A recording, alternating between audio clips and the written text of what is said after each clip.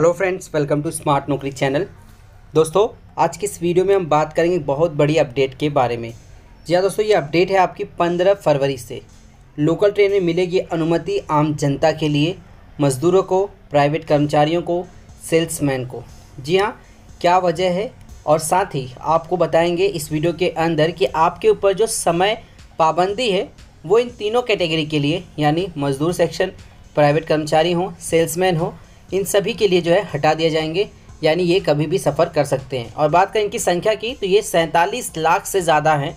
जी हाँ जो लोकल में अभी सफ़र नहीं कर रहे हैं।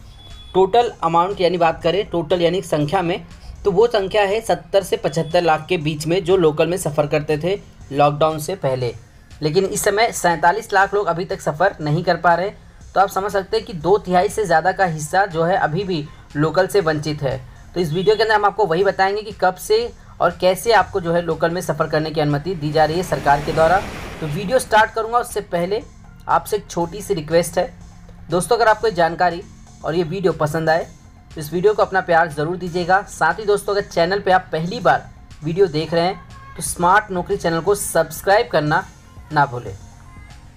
बात करते हैं लोकल को लेकर।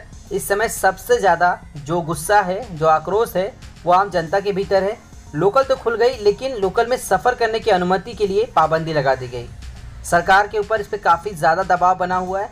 आम जनता कई जगहों के माध्यम से, चाहे सोशल मीडिया के प्लेटफॉर्म्स पर हो, चाहे फेसबुक ट्विटर कहीं कर भी देखा जाए। और अगर बात करें फ़ील्ड पर, यानी ज़मीनी स्तर पर भी, आम जनता से जब सवाल पूछे गए, सभी का यही बयान है कि आखिर लोकल स्टार्ट हुई तो हुई, लेकिन आम जनता के लिए समय की पाबंदियाँ क्यों?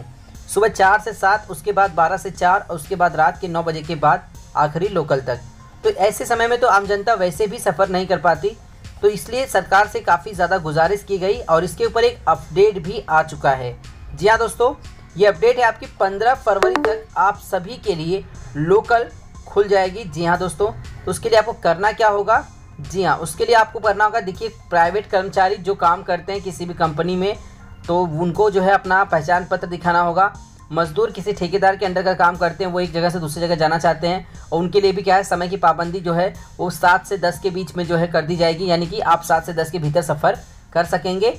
दूसरी तरफ़, जो सेल्समैन है, उन्हें भी काफ़ी ज़्यादा दिक्कत हो रही है, क्योंकि जो इनका जॉब होता है, वो लगभग ग्यारह बजे से स्टार्ट होता है, क्योंकि शॉपिंग कॉम्प्लेक्स, जो मॉल्स वगैरह होते हैं वही ग्यारह बजे के आसपास खुल जाते हैं।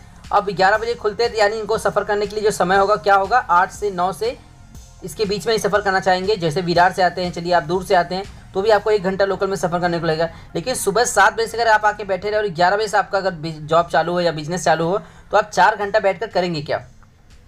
तो यहाँ पर सरकार ने अपनी तरफ़ से एक पॉजिटिव रिस्पॉन्स दिया, जो स्वास्थ्य मिनिस्टर हैं, टोपी जी, राजेश टोपी जी, उन्होंने साफ़ साफ़ कहा कि उन्होंने मुख्यमंत्री उद्धव ठाकरे जी से बात की और इस बारे में अवगत कराया। साथ ही विक्रौली के भी जो है जो नगर सेवक है, उन्होंने भी बात की। कई जगहों पे, जी हाँ सिर्फ़ नगर सेवक ही नहीं मंत्रियों विधायकों ने सभी लोगों ने जो है पूरी तरह से कैबिनेट में जो है इस बात को लेकर निकाला कि आम जनता के लिए समय की पाबंदी जल्द से जल्द हटा दी जानी चाहिए।